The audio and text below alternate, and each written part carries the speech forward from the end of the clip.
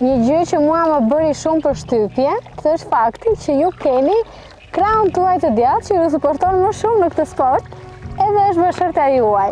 Ne të dy jemi njoftë, kemi shumë vite që njihemi, ne kemi dy fmi, goca është 8 vjeç, çuni është 14 vjeç. Me kajakët është Aventura e fundit po i quajmë që neve merrim nga nga shumë aventura që neve kemi bërë dhe bëjmë. Dhe na shtyn akoma, na shtyn akoma do të ecim të eksplorojmë këto vende. Liqeni është i lehtë për Aidën, se Aida merret dhe me lumin, me kajak në lumin që është është pak e vështirë. Për kajakët lumi është zë vendin më të vështirë.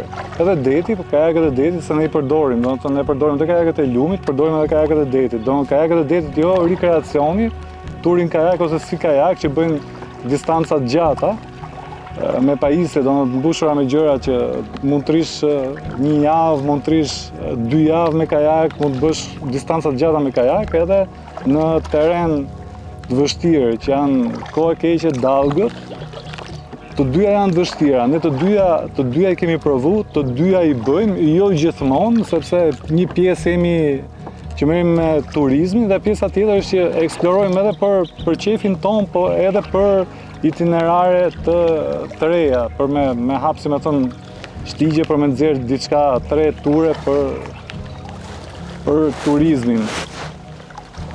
Por që unë për vete nuk e ndaj dot mes lumit edhe detit, sepse të dyja kanë karakteristika të ndryshme edhe të dyja janë të vështira. Nuk flas për pjesën e rekreacionit, flas për ato ça ça shpjegova më parë, domethënë për pjesën Turing në det edhe Whitewater që quhet lumi, domethënë po. ujrat e rëmbyshëm, ujrat e bardhë të rëmbyshëm. Ne merremi jo gjithkohës me to, por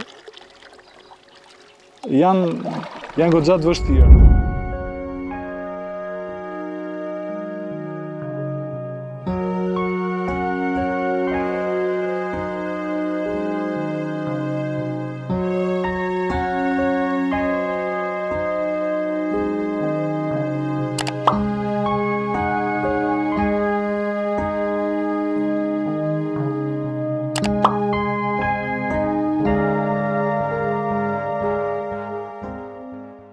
Andej është kufiri edhe diku 500 metra 500 metra, 600 metra dalim në kufi, domethënë është pjesa e fundit e liqenit që ndan Shqipërinë me Greqinë, sepse Prespa e vogël është një pjesë është e jona dhe një pjesë është e Greqisë. Që që orientimi krau, krau i majtë i joni në këtë rast është, është kufiri me Greqinë. Kështu që deri aty ne mund të afrohemi, pastaj kthehemi, sepse dalim Greqi. Po në krahun e djathtë tonin? Në krahun e djathtë kemi fshatin Buzëliqen, ose Zagradeci. Dhe kanë pjesa më e madhe e këtyre fshatrave përdorin dy emra. Për arsye që janë një pjesë janë minoritet edhe përdoren të dy emrat, dhe emrat shqiptarë edhe emrat maqedonas në këtë rast.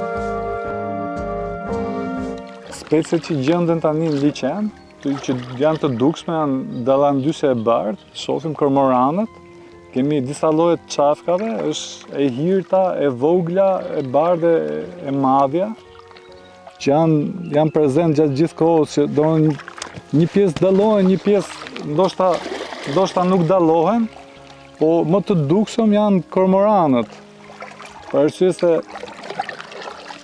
janë të ndaluar edhe bien në sy për arsye të ngjyrës se janë të errët, janë të zinj. Po pjesa e kallamishteve për çfarë mund të përdoren ose më saktë A duhet që të pastrohen që rezervuari të fillojë të marrë jetë dhe ne të po kemi mundësi më shumë? Apo? Kam bërë, domethënë, kam bërë studime edhe këto thonë që është shumë e vështirë me i, po, sepse janë përhap shumë, edhe duhet shumë kohë dhe ka shumë kosto. Po që normalisht, po të fillojnë, se ato dhe i përdor, ato përdoren, domethënë, ato mund të shiten, bëhen këto tip rogozash, këto gjithë në këto lokale që i marrin jashtë, Bëjnë kallama për pjesën e çative, domethënë për këto ornamente të ndryshme, ato përdoren, pjesa e gjetheve prapë është e përdorshme, bëjnë këto çadrat e plazheve, edhe me pjesën e poshme dhe me pjesën e gjetheve sipër, kështu që të gjitha... Mund të kthehen dhe ato për biznes, banorët e zonës. Po patjetër, po po të merresh mund ta kthesh për biznes, domethënë nuk ka gjë që s'bëhet... Duhet të kthejmë sytë, sytë vërtet te mrekullia që ka ky liqen dhe... Ta promovojmë, ta promovojmë sa më shumë, është natyra jonë.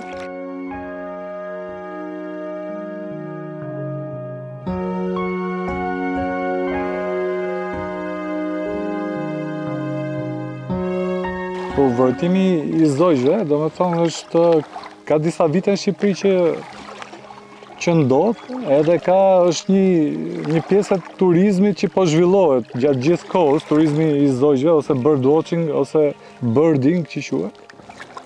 Gjatë kohëve të ndryshme të vitit, simbas lëvizjes së zogjve shtektimit ose pozicionimit të tyre për pjesën e folezimit, edhe Prespa e Vogël gjithashtu është një vend kyç për këtë gjë, kështu që edhe vetëm nga ky nga kjo anë mundet të zhvillohet ose mund të ketë goxha interes për turizmin.